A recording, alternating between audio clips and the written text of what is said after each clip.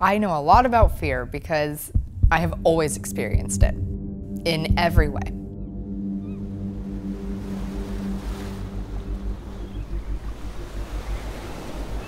As children do, they get scared of the dark or they're scared of what's under their bed, and then their parent or guardian, whoever it is, comes in and says, there's nothing under your bed. And then at some point you start believing that. And I went just the opposite direction, where my mom would come in and say, there's nothing under your bed. And then that would make me convinced that there was. I realized that I was not making any headway in getting rid of my fears or overcoming those fears, so I might as well just invite them into my life and take control of them as much as possible. So I started creating images that deal with fear and not only deal with it conceptually, but also that take me into the places that I'm afraid of, like deep water, for example,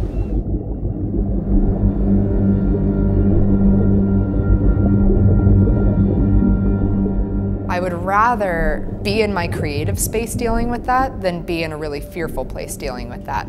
And that's the beauty of creating, is that it allows you to express and experience those fears that you may have.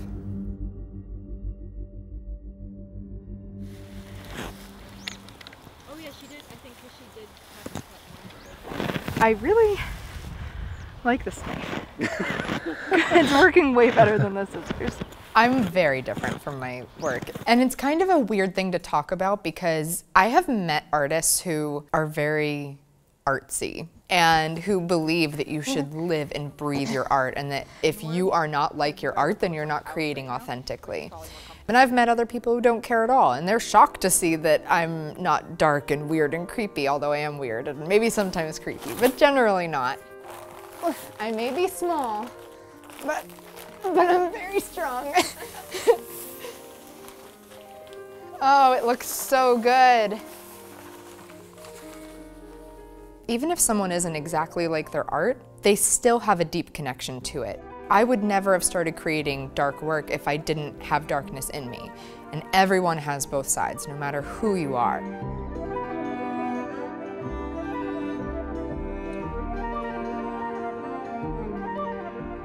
I grew up in Lancaster County, Pennsylvania, which is known for being Amish country, so there are tons of Amish people there.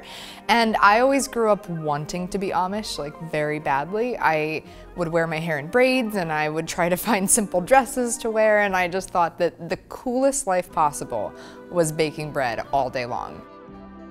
I had this little tree that I loved to climb and I would climb all the way to the top and then sit there with my little notebook and I would just write little stories all about the bees that I saw and the butterflies and nature and trees and I remember those stories evolving as I grew into something much darker in a way where I would write stories not just about trees and forests and fairies but about the trees all falling down and dying. And that was a really interesting transition that I noticed myself taking. So when I went into high school, I took this filmmaking class. My final little project was of my friend drowning in a pool. And I was nervous because I wasn't sure how it would be received. And they ended up taking it to a film festival and it won this local film festival. And I couldn't believe it because it was the first time that anybody had bothered to try to understand what I was trying to say.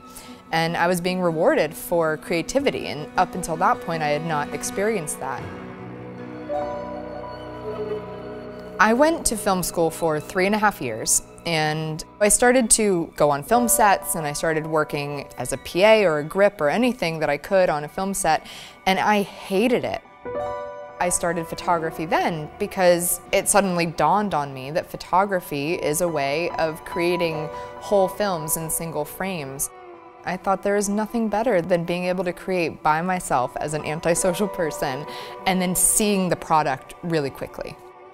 It wasn't until about six months into creating photographs that somebody finally said to me, you seem to enjoy this way more than film. And it was almost like someone saying that to me gave me permission to admit that. So we took some shortcuts and we wrapped just a little bit instead of the entire body in yarn, which I thought looked a little bit more feral, I guess you could say. So I really liked that about it. And all in all, it was just a day with a friend and it was a really, really good day. For the first year after I started submitting to galleries. I was in 14 different shows and I paid for almost all of them and I went in with my hammer and nails and hung my work and sold a few things but never made my costs back. And I was okay with that because I was doing what I loved and it didn't matter how long it took. So it was only after that first year that I finally was able to sort of dive in and become a full-time artist. I think what was super important during that time was that I defined three very serious goals that I had for myself. One was to create art that I wanted to create on my own terms, and that led me to galleries. The other thing was that I really wanted to write a book and I self-published the book and barely made any money from it, but I did it. And then the third thing was teaching. I've always wanted to be a teacher. I have a degree in English literature with the hope that one day I would be an English teacher, but I know photography, so why not teach that? I'm then going to photograph this space without our subject, remove the apple box, photograph her feet separately, and then I'll be able to get rid of that black box and have new feet in the picture.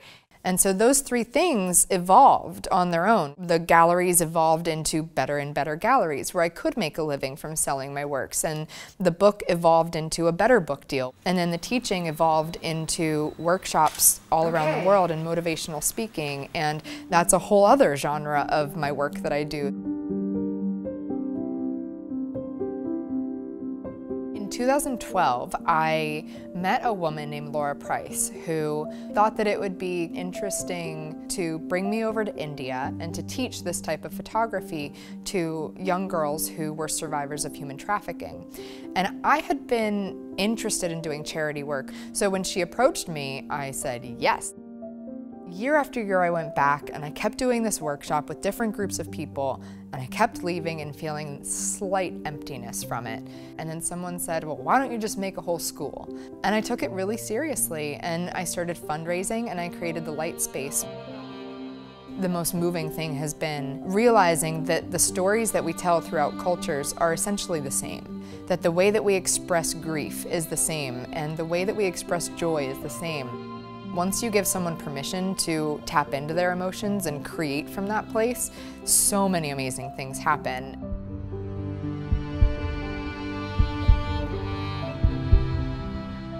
What I would say to anybody creating art where maybe you feel some anxiety in sharing that art or putting yourself out there, being really personal, is one, to know that we're all humans. We have the same fears, we have the same anxieties, and being able to confront what scares you and do it anyways. That's how you find art that has meaning, that has depth to it, that has some soul connection to other people. Art is a way of reaching out to others and saying, this is me, I hope somebody understands that. And that's why it's so terrifying, because we don't want to put ourselves out there if there isn't another hand to hold reaching out through the darkness. But there always is. You just have to put it in the right places and try enough times, and then somebody will bite eventually. And I think that we perhaps give up too soon, and we think that it should be easy, but none of this should be. It should be a journey.